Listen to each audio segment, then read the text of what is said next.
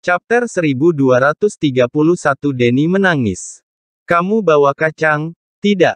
Melihat Denny dan Stefan akan bertarung, Niro pun mundur dan bertanya kepada Carson dengan penuh semangat. Tidak ada, kalau tahu begini, aku akan menyiapkan sedikit makanan ringan. Carson menggelengkan kepalanya dengan menyesal. Aku ingat tingkat kultivasi. Denny memang selalu di atas Stefan. Apa sekarang dia sudah bisa mengalahkan Stefan? Kalau Kak Stefan tidak curang, dia seharusnya tidak bisa mengalahkan Denny.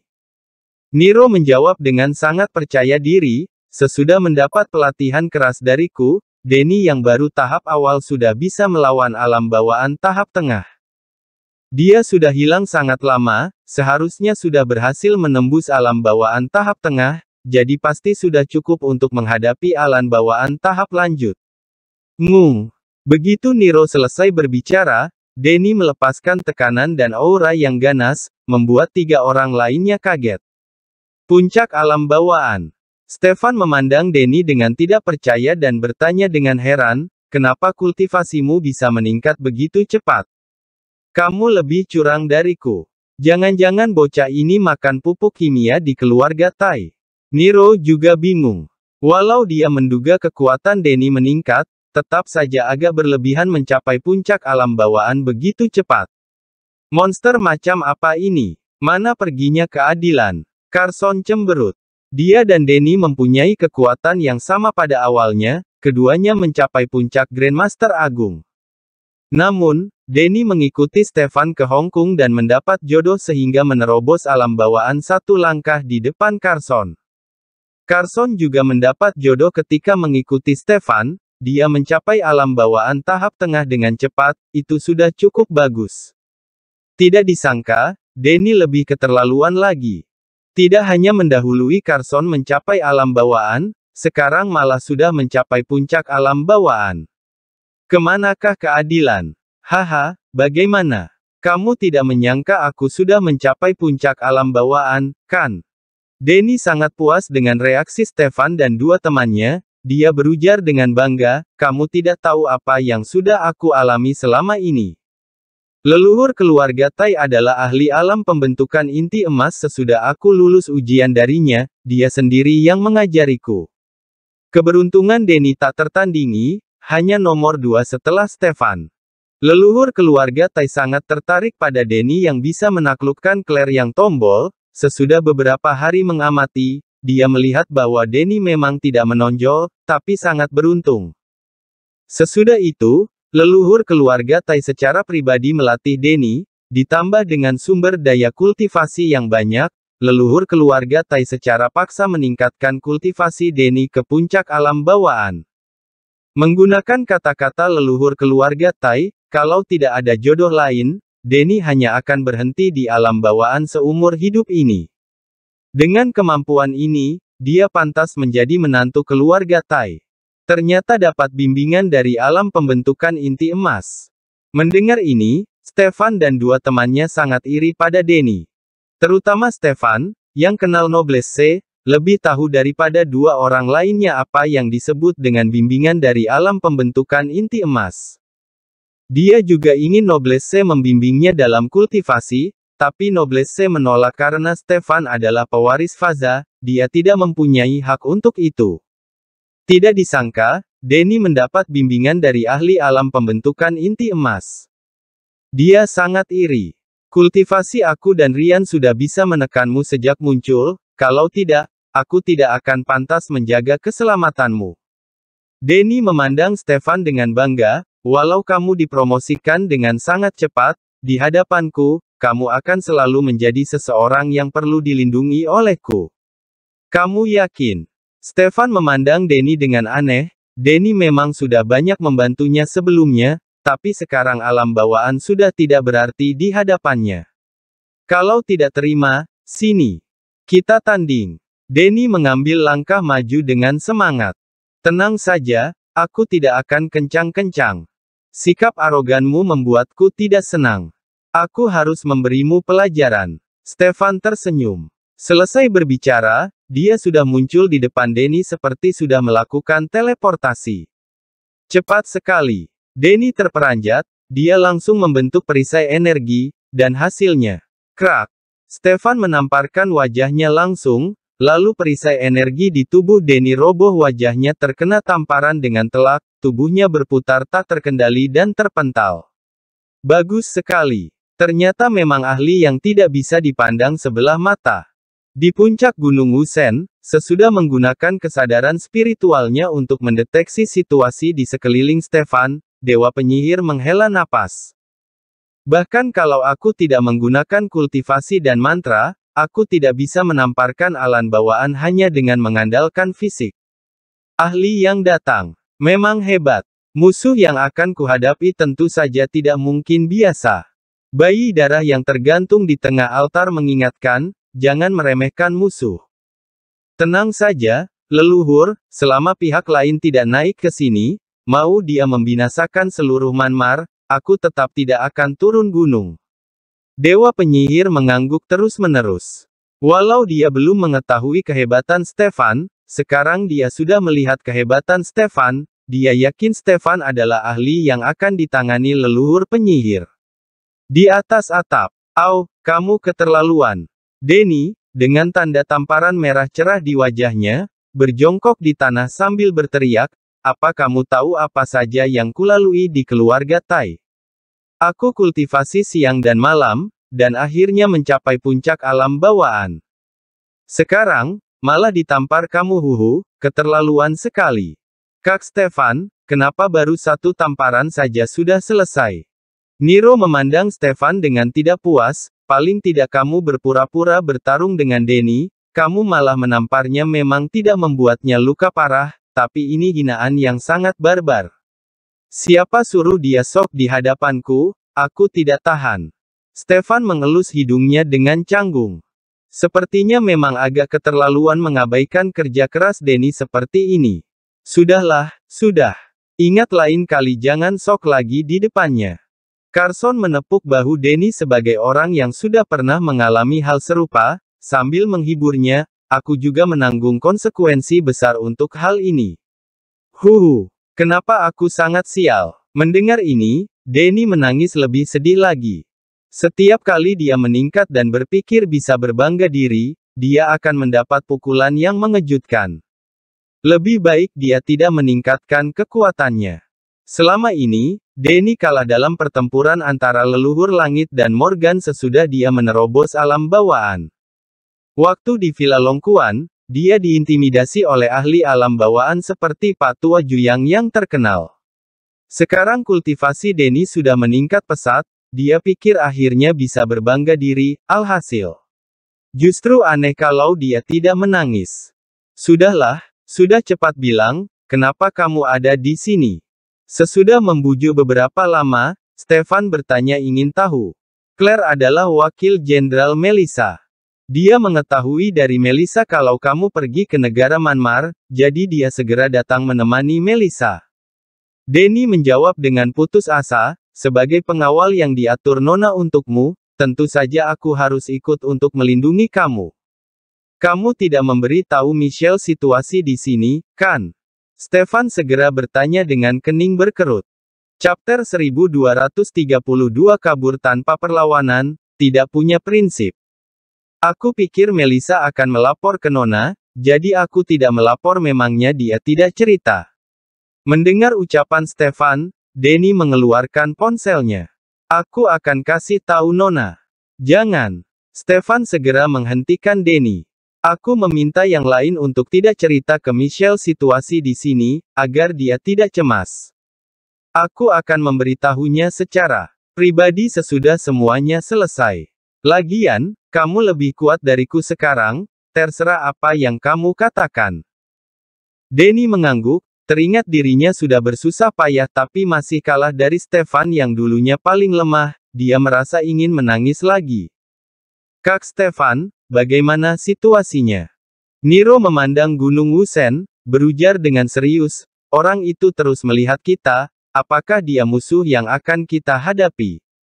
Hanya ada satu orang yang hidup di gunung sekarang ini. Dia seharusnya dewa penyihir dari sekte dewa penyihir. Stefan mengangguk sambil memandang dewa penyihir di kejauhan. Orang ini menggunakan semacam sihir jahat untuk mengorbankan ribuan anggota sekte Dewa Penyihir. Dia hanya menunggu kita menyerang untuk memulai pertempuran. Apa tingkat kultivasinya? Niro berujar dengan serius, kalau dia terlalu kuat, kita harus cepat kabur. Deteksi awal menunjukkan kalau dia adalah ahli alam pembangunan fondasi tahap lanjut. Stefan menjelaskan dengan hati-hati, tapi, aku tidak yakin apakah dia menyembunyikan kekuatannya, aku belum menemukan sesuatu yang aneh di Gunung Wusen untuk saat ini. Ternyata hanya alam pembangunan fondasi tahap lanjut, bahkan tidak sekuat aku. Niro menghela napas sambil berujar dengan arogan, aku akan membantumu mengujinya. Mungkin aku bisa membunuhnya sehingga kamu tidak perlu turun tangan. Jangan. Stefan menggelengkan kepalanya dengan tegas. Pihak lain muncul dengan sangat arogan dan jelas ingin menipu kita ke atas gunung aku memang tidak bisa merasakan bahaya, tetap saja kita tidak boleh membiarkan dia mendapat keinginannya, jaga-jaga agar kita tidak terjebak. Kalau begitu, kita hanya akan menunggu. Niro menjawab dengan tidak yakin. Tidak masalah. Stefan tersenyum dan menoleh ke arah Carson. Bagaimana misi penyelamatannya? Sesudah sibuk seharian, semua orang Hong Kong sudah naik bus dan meninggalkan kota. Carson segera menjawab, para penyelundup yang terjebak di sini sebelumnya. Yang penting orang-orang Hong Kong sudah naik bus. Stefan menyela Carson sambil berujar dengan sinis, kita sudah membuat jalan menuju perbatasan dengan aman dari sini. Orang-orang yang terjebak sebelumnya bisa pergi kalau mereka mau. Tidak mau juga tidak masalah. Aku malas meladeni mereka. Kalian pergi dulu, aku akan menunggu di sini untuk menahan dewa penyihir. Stefan kembali duduk berlutut menghadap Gunung Wusen. Aku akan berangkat besok pagi. Apa maksudmu? Bukankah kamu bilang mau memusnahkan persekutuan penyihir hitam? Niro langsung bertanya, kenapa kamu menyerah begitu cepat? Orang-orang persekutuan penyihir hitam sudah dibunuh oleh dewa penyihir, mereka sudah hampir habis. Stefan berujar dengan tenang, dewa penyihir tidak akan membiarkan kita pergi begitu saja. Dia pasti akan datang untuk memburu kita. Selama dia turun dari Gunung Wusen dan lepas dari trik yang sudah diatur sebelumnya, kita tidak perlu takut padanya. Ide bagus. Daripada mengambil inisiatif, lebih baik kita pancing dia keluar dari sarangnya. Mata Carson berbinar. Dia mengiyakan, kalau pihak lain tidak mengejar kita. Kita bisa kembali ke negara Hua terang-terangan. Misi kita pun selesai. Tenang saja, dia pasti akan mengejar kita. Stefan tersenyum yakin. Kenapa? Niro dan Carson memandang Stefan dengan bingung. Dia mengorbankan ratusan ribu angkatan bersenjata, lalu membunuh semua elit sekte Dewa Penyihir dengan tangannya sendiri. Dia sudah mempertaruhkan segalanya demi pertempuran ini. Stefan memandang Gunung Wusen sambil bercanda, kalau dia membiarkan kita pergi begitu saja, semua pengorbanannya akan sia-sia. Niro dan Carson saling memandang. Mereka paham maksud Stefan. Larut malam, Carson, Denny dan Niro menemani Melissa dan naik bus terakhir untuk meninggalkan Bangkang di bawah penjagaan organisasi sipil. Stefan tinggal sendirian. Ketika Melissa dan temannya sibuk melakukan misi penyelamatan, pasukan pemerintah negara Myanmar mengambil alih pertahanan kota secepat mungkin, lalu membagi pasukan mereka menjadi beberapa tim untuk mengambil alih kota-kota lain. Sejauh ini, pejabat Myanmar sudah menjadi pemenang terbesar. Panglima yang berlawanan dengan pemerintah sekarang sudah dimusnahkan. Sebagai kaisar tertinggi di wilayah utara, Sekte Dewa Penyihir hanya mempunyai seorang komandan yang tersisa. Pemerintah berhasil menduduki wilayah utara tanpa mengorbankan satu nyawa pun. Perang penyatuan utara dan selatan yang begitu mudah sudah cukup untuk menjadikan pemimpin resmi saat ini sebagai pemimpin terbesar dalam sejarah negara Myanmar. Tuan leluhur penyihir, sebentar lagi pagi. Menjelang fajar, dewa penyihir yang berdiri di puncak gunung bertanya kepada leluhur penyihir dengan ragu, orang itu sudah bersitatap denganku sehari semalam, tapi masih tidak berniat menyerang apa mungkin dia mundur tanpa perlawanan. Tidak mungkin. Leluhur penyihir berujar dengan yakin, para penjaga dunia tidak hanya kuat, tapi juga sangat berbangga diri. Dia sudah sampai ke sini, dia tidak mungkin pergi begitu saja. Pada tingkat ini, harga diri lebih penting dari apa pun. Kalau mundur tanpa perlawanan, dia akan menanggung malu. Tapi, kenapa dia belum menyerang?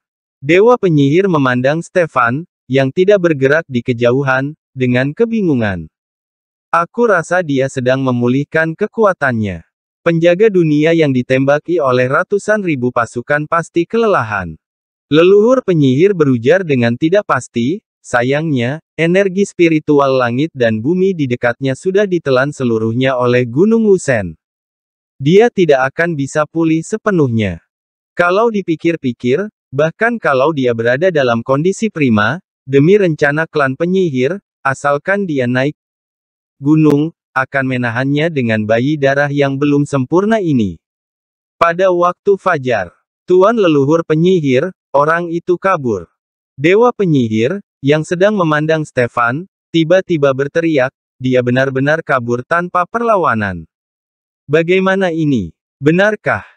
Apa kamu yakin dia justru kabur dan bukannya menyerang? Leluhur penyihir bergumam tak percaya, Bagaimana bisa seorang penjaga dunia begitu tidak punya prinsip? Kalau orang yang datang benar-benar penjaga dunia seperti yang disebutkan oleh leluhur penyihir, bahkan kalau dia tahu kalau Gunung Wusen penuh jebakan, orang itu akan tetap dengan paksa menerobos dan menghancurkan dewa penyihir. Namun, orang yang datang kali ini adalah Stefan. Dia tidak mempunyai harga diri dan integritas seperti para penjaga dunia. Tuan leluhur penyihir, apa yang harus kita lakukan sekarang? Dewa penyihir bertanya dengan panik. Dia tidak punya nyali untuk turun gunung dan melawan Stefan sendirian. Sudah banyak yang kita korbankan, kita tidak boleh membiarkan dia kabur. Bangunkan mayat naga dan kejar dia. Leluhur penyihir berteriak dengan tegas, walau kekuatan yang bisa dikerahkan mayat naga sesudah meninggalkan Gunung Wusen lemah, Bahkan kalau tidak ada mayat naga, kita harus bisa menahan orang itu. Siap. Dewa penyihir tidak berlama-lama, dia dengan cepat membentuk segel dan menggumamkan sesuatu. Sebuah formasi besar berwarna abu-abu kehitaman yang ditutupi dengan prasasti yang tak terhitung jumlahnya muncul di langit, menutupi seluruh Gunung Wusen. Chapter 1233 Gunung Wusen terbang. Kabut hitam tebal dalam jumlah besar jatuh dari formasi di langit, menutupi Gunung Wusen. Lalu, gunung yang berdiri tegak di luar kota Bangkang itu mulai berguncang hebat. Seluruh kota Bangkang seperti terkena gempa berkekuatan 10 skala Richter rumah-rumah roboh dan tanah berguncang. Ini pasti karena Dewa Penyihir sedang marah dan akan menjatuhkan hukuman. Melihat pemandangan mengerikan yang hampir seperti kehancuran dunia, Orang-orang yang percaya pada sekte Dewa Penyihir berlutut dan berdoa ke arah Gunung Wusen. Karena kemiskinan dan keterbelakangan, negara Manmar adalah negara dengan sekte sesat paling banyak. Sekte Dewa Penyihir sudah menguasai wilayah utara selama bertahun-tahun, jadi penduduk di sini sangat percaya pada sekte Dewa Penyihir dan cerita hantu. Sekarang ini, perubahan besar baru saja terjadi di wilayah utara, penguasa mereka berganti orang. Gunung Wusen, tempat altar utama sekte Dewa Penyihir berada, mengalami perubahan seperti ini. Orang-orang percaya itu karena dewa marah dan akan menjatuhkan bencana. Bahkan tentara pemerintah yang menduduki kota Bangkang sekarang ini merasa ketakutan, hanya saja mereka langsung menenangkan diri. Mempertimbangkan kepentingan pribadi mereka, para pejabat tinggi memerintahkan penggunaan kekerasan untuk menjaga ketertiban. Namun yang terjadi selanjutnya, pasukan pemerintah pun takluk. Ketika kabut hitam yang jatuh dari papan formasi yang tergantung di langit mencapai kepadatan tertentu, papan formasi itu menghilang. Di saat yang sama, Gunung Wusen, yang diselimuti kabut hitam, perlahan naik ke langit di bawah tatapan semua orang, berubah menjadi awan hitam dan terbang ke arah utara. Sisa sepertiga gunung yang tetap di tempatnya dan terus terguncang. Gunung Wusen terbang. Orang-orang berteriak ketika mereka melihat Gunung Wusen, yang diselimuti kabut hitam terbang ke kejauhan. Orang-orang yang percaya pada sekte dewa penyihir menangis dan bersujud, memohon kepada dewa penyihir untuk tidak marah lagi, mengampuni dosa-dosa mereka, dan tidak meninggalkan mereka yang menjadi pengikutnya. Melihat gunung besar terbang seperti ini, pasukan pemerintah yang tidak percaya pada sekte dewa penyihir juga terguncang mereka meletakkan senjata dan berlutut untuk bertobat.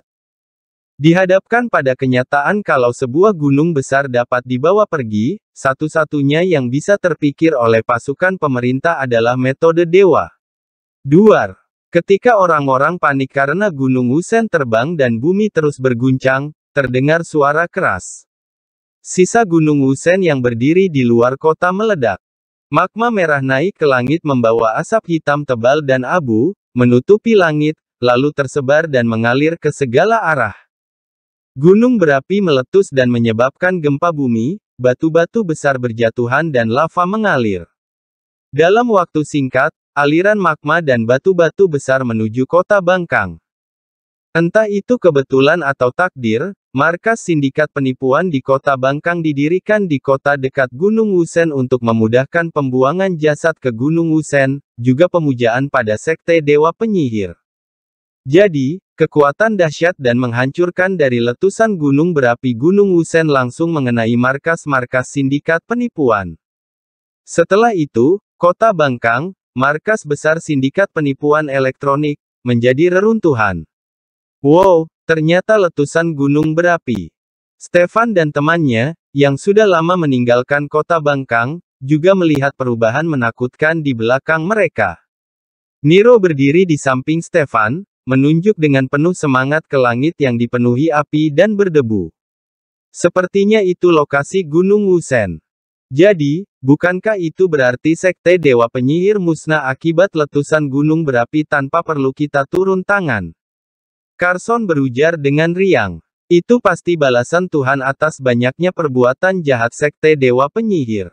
Stefan melihat ke belakang dengan alis mengernyit, wajahnya sangat serius. Aku punya firasat buruk, sebaiknya kita segera pergi. Denny menggosok tangannya dengan gelisah dan mendesak dengan cemas. Pasukan sudah pergi tadi malam. Niro, Denny dan Carson berpisah dari tim untuk menunggu Stefan. Awalnya, mereka berencana untuk menyergap dewa penyihir, tapi malah terjadi hal seperti ini tak lama setelah bertemu Stefan. Sudah terlambat. Stefan menggelengkan kepalanya dan memandang langit gelap di kejauhan. Samar-samar dia bisa melihat sekelompok awan hitaran bergerak cepat. Untungnya, aku cukup tenang dan tidak menyerang Gunung Wusen dengan asal. Kalau tidak, bahkan ahli hebat pun akan mati. Apa maksudmu? Niro dan temannya memandang Stefan dengan bingung. Ketika aku menggunakan indera spiritual untuk mendeteksi situasi, aku menemukan Gunung Wusen adalah gunung berapi yang sudah mati. Secara logika, gunung ini tidak akan meletus mendadak. Stefan menarik napas dalam-dalam dan menjelaskan, tapi sekarang, gunung ini tiba-tiba meletus, itu menunjukkan kalau itu adalah gunung berapi aktif yang akan meletus kapan saja. Sekte Dewa Penyihir sudah menekannya dengan cara yang tidak wajar, menunggu saat yang tepat untuk meledakkannya sehingga menghasilkan kehancuran yang mengerikan. Sederhananya, Sekte Dewa Penyihir bisa membuat formasi yang jauh lebih menakutkan di Gunung Wusen daripada formasi yang aku pakai dengan memanfaatkan nadi naga di Villa Longkuan. Kalian seharusnya sudah tahu bahaya yang mengancam. Mendengar ini, Niro, Carson dan Denny terperanjat. Mereka semua pernah mengalami pertempuran di Villa Longkuan dan melihat kekuatan mengerikan dari formasi Stefan.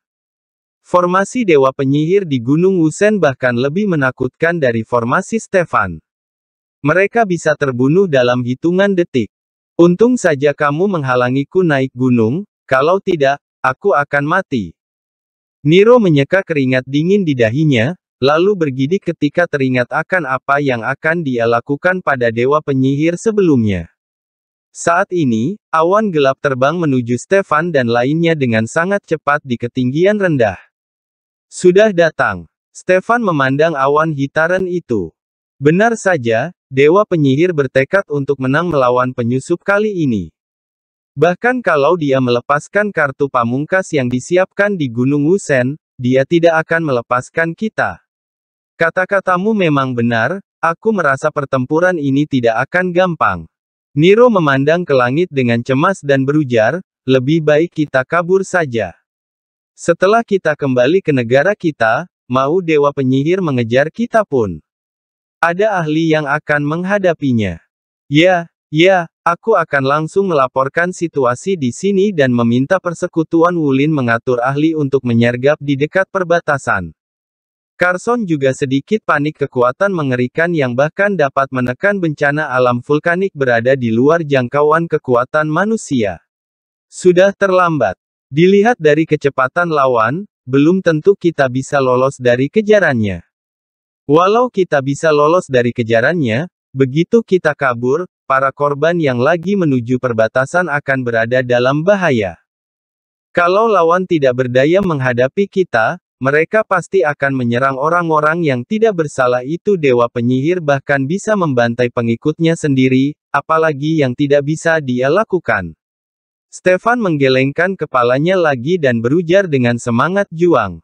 Selain itu, aku datang ke negara Manmar kali ini untuk membinasakan sekte Dewa Penyihir sekarang Dewa Penyihir sudah meninggalkan Gunung Wusen, kita sudah terlepas dari metode terkuatnya. Tidak ada alasan bagi kita untuk takut.